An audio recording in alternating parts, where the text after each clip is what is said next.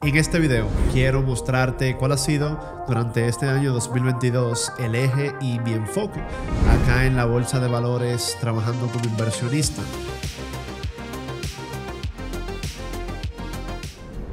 Sin duda alguna, el 2022 ha traído nuevos retos, como siempre en el mercado. Para mí sigue siendo un año habitual. El mercado siempre nos sorprende con nuevos movimientos, nuevas dinámicas, nuevas noticias que influencian la bolsa. Sin embargo, yo quiero mostrarles algo que por lo usual todos toman por sentado. Quiero hablar de la construcción eficiente de un portafolio que tenga la capacidad de darnos ingresos pasivos a través de los dividendos. Es una manera sumamente bajo riesgo de generar retornos, dado que las acciones que elegimos con este propósito son normalmente las, las de mayor calidad.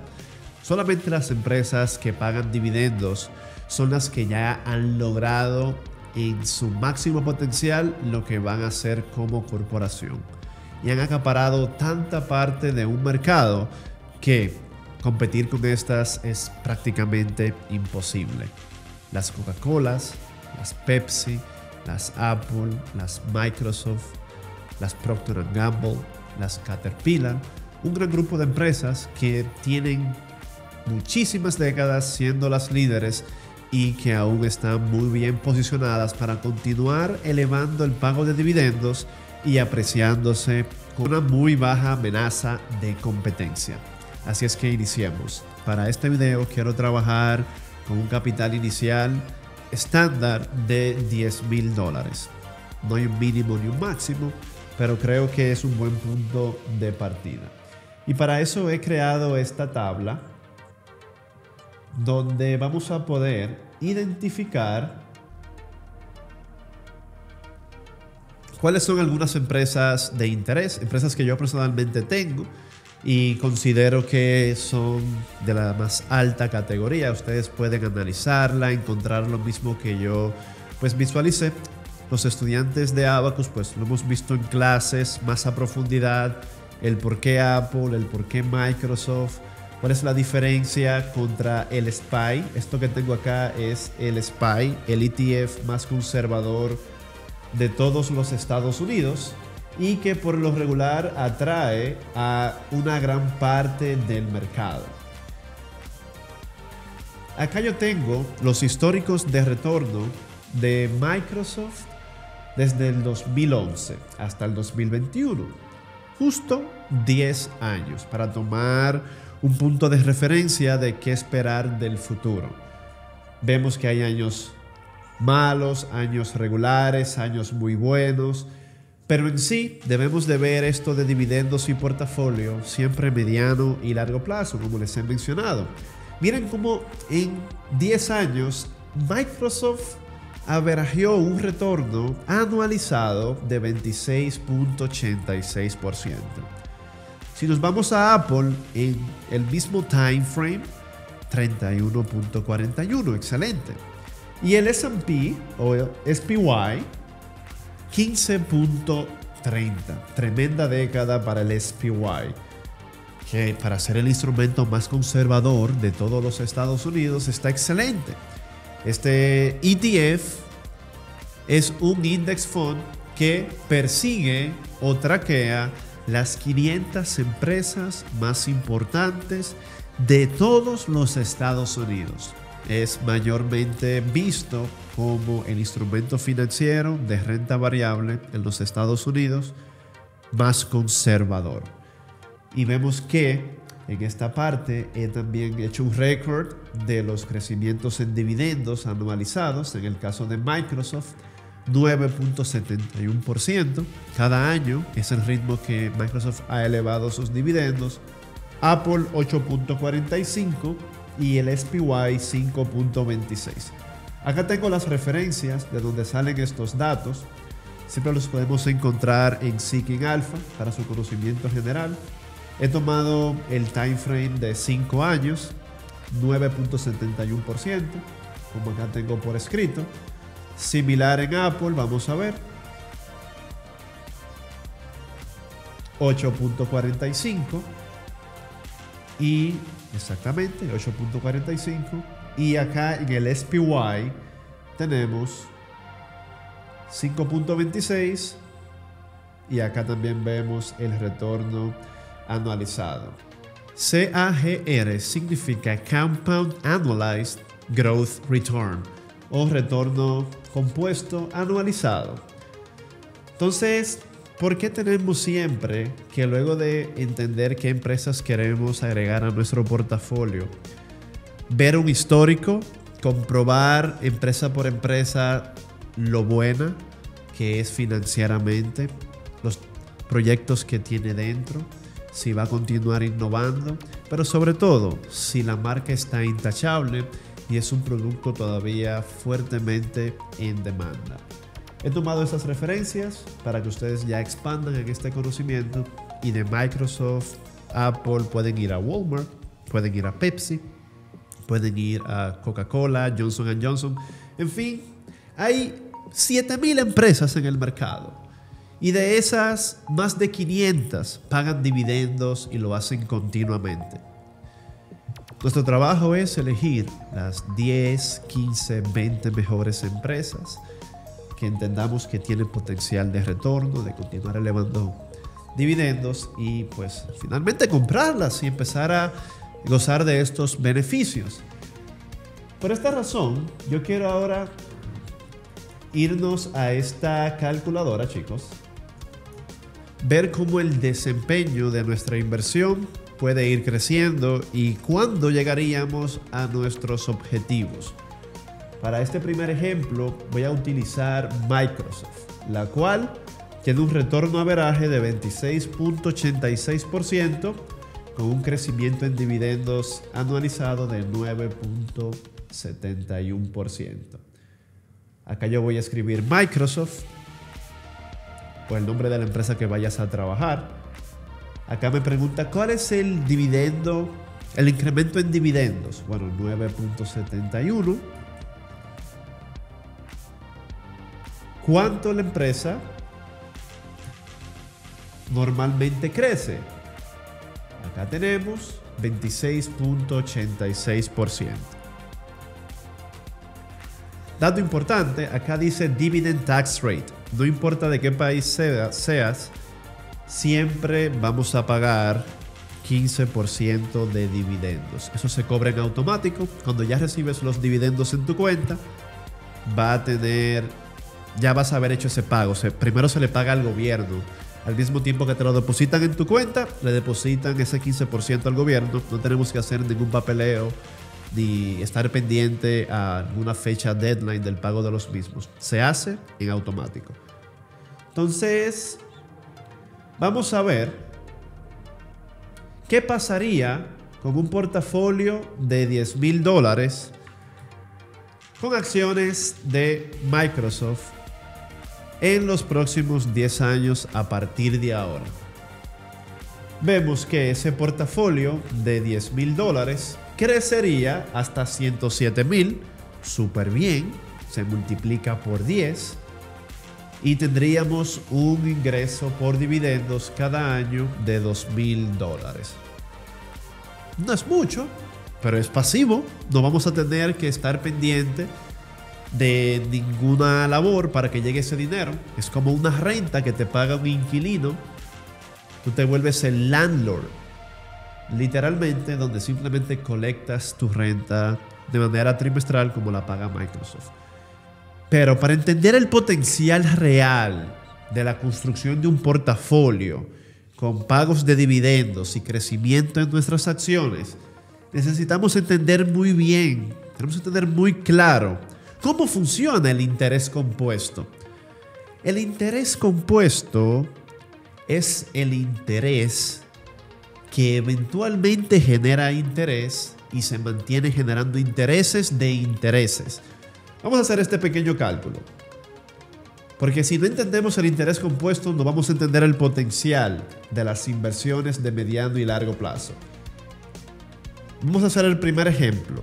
Nuestros 10 mil dólares que planeamos que retornen 26.86% cada año. El primer año tendríamos que nuestros 10 mil dólares crecen hasta 12.686. Pero ya el próximo año, que vais a tener el mismo ritmo de retorno, ese 26.86% será sobre los intereses generados el año pasado y tu capital inicial. Por ende, va a ser un poco más. Y el siguiente año, tu retorno va a continuar generando intereses sobre los intereses ya generados. Y fíjate cómo en tres años ya estarías duplicando tu dinero. Bajo este ejemplo. A diferencia del interés simple, el compuesto se mantiene trabajando hasta que nosotros mismos deseemos empezar a gozar de esas ganancias. El interés simple es cuando tú generas de esos 10 mil dólares un 20%, generaste 2 mil dólares, pero los retiras y lo utilizas para otra cosa. Bajo esa condición, cada vez que generes 2 mil dólares o 20%, tú siempre vas a estar generando el mismo retorno, pero no va a crecer porque tú lo estás retirando. Estás interrumpiendo el efecto crecimiento, el efecto bola de nieve, que es la magia de las inversiones, que año tras año, como podemos ver en acciones como Microsoft, acciones como Apple, se mantienen creciendo y, e incluso los ETF, como el SPY. Entonces, mientras más lejos sea nuestro horizonte, más el interés compuesto trabajará a nuestro favor. Fíjense acá, yo voy a cambiar de 10 años a 15 y el resultado estalla a 354 mil dólares. Y si yo lo llevo a 20 años, el resultado ya cambia a un billón 100 mil dólares, 165 mil dólares. Esta es la razón número uno por la cual los Estados Unidos es el país con más millonarios. No es tanto por los emprendedores, no es tanto por el mundo de los negocios que se puede llegar a vivir allá. La gran masa de millonarios en Estados Unidos llegan a ese estatus porque son organizados e invierten a mediano y largo plazo. El tiempo va a pasar como sea. Si tú tienes 30 años, como yo, por ejemplo, en 20 años, si estuviera empezando desde cero y hago esto, estuviera ya teniendo una meta y trabajando en ella para los 50, tener un millón 100 mil dólares. Y tú dirás, wow, es mucho tiempo, 20 años. Yo lo sé que es mucho tiempo. Todos sabemos que 20 años es mucho tiempo. La pregunta es, ¿qué otro plan tenemos para tenerlo en menos tiempo? Ese es el plan más step by step fácil de seguir y sin duda hay proyectos, hay negocios que te pueden hacer llegar ahí en cinco años. Pero, ¿qué tan real son? ¿Quiénes realmente tienen esas capacidades? Entonces, por lo menos, este es un plan que podemos darle seguimiento, que es cumplible por cualquier persona y que es técnicamente dentro del mundo de las inversiones y los negocios que de por sí es riesgoso, es de bajo riesgo. Porque estamos comprando empresas excelentes que tienen 50 años pagando dividendos, incrementando dividendos y apreciándose. Empresas como Pepsi, empresas como Microsoft, que tienen ya la base para continuar creciendo. Ahora bien, este ejemplo fue con Microsoft. Vamos a hacerlo con el ETF más conservador de todos los Estados Unidos para los más conservadores. Vamos a poner acá 15% de retorno. Y acá 5.26. Los mismos 10 mil dólares, pero un instrumento financiero sumamente conservador, el más conservador. Acá vemos que crecería hasta 163 mil dólares. Al final el riesgo paga. Cuando tomamos riesgo medido, puede ser drástico el cambio. Y sigue estando bien, porque tu inversión se multiplica por 16, pero está muy distante de tener un billón 165 mil dólares, como, como, si, como si Microsoft nos enseñó. Ahora vamos a hacerlo con la número uno, con la empresa más grande de los Estados Unidos y que todos conocemos, Apple. 31.41% es el retorno. Y de los dividendos podemos esperar 8.45. Acá podemos el dividendo 8.45 y acá el retorno 31.41. Acá vemos que a diferencia de Microsoft, el retorno es de 2.3 millones de dólares y el ingreso anual por dividendo, el ingreso pasivo, el ingreso que vamos a colectar como si fuera una renta, es de 86 mil dólares. Ahora bien, con todas estas herramientas que hemos visto, la idea es que tú vengas a esta calculadora y ejecutes según el nivel que tú te encuentras. Porque algunos tienen 10 mil dólares, otros tienen 100, otros tienen 5 mil. Otros quisieran en vez de comprar Microsoft comprar Berkshire Hathaway, quisieran comprar eh, McDonald's, Pepsi. En fin, te dejé las herramientas de la lista completa de empresas que tienen décadas y décadas y décadas pagando dividendos. Y también podemos encontrar los retornos. Ahora bien, hay algo clave. Nosotros podemos hackear el crecimiento. Asimismo, como se escucha, podemos hackear el crecimiento. Eso es si compramos 10 mil dólares de estas acciones y punto. Acá tenemos el mismo resultado, luego de escribir Apple. Ahora bien, chicos, para hackear el crecimiento, podemos inyectarle poco a poco a esas acciones. Acá me dice, quiero insertar algún monto extra de manera anual. Digamos que sí, quiero inyectarle 5 mil dólares anual. ¿Qué tanto influye en el crecimiento? Vamos a ver. Crece el doble, más del doble, hasta 6 billones de dólares. Y los ingresos anuales por dividendo 136 mil. Chicos, vuelvo y les repito este ejercicio es el que ha llevado la mayor cantidad de millonarios en Estados Unidos a ese estatus. parte ha sido por empresarios, claro que sí, carreras muy bien pagas, pero el gran, pero el gran porcentaje de los millonarios es por esta estrategia el tiempo va a pasar, es algo que no tenemos que trabajar o no trabajar, siempre está pasando. Las acciones van a continuar existiendo, van a continuar haciendo negocios, ganando más dinero, teniendo más ventas, nuevos productos. Y nosotros simplemente tenemos que tener exposición a estos activos, tener dentro de nuestro patrimonio este tipo de activos. Ahora bien, te dejo las herramientas y te cuento que es mi mayor enfoque hoy como inversionista. 50% haciendo swing trading para esas mismas ganancias del swing trading inyectárselas a mi portafolio. Y si te gustó este video, dale like, suscríbete y en una segunda parte les voy a mostrar cómo este patrimonio usarlo a nuestro favor sin nunca tener que vender, trabajando de manera profesional y con una visión siempre clara, objetiva y que nos permita tener control de nuestro futuro financiero. Para mí ha sido un placer. Nos vemos en la próxima. Hasta luego.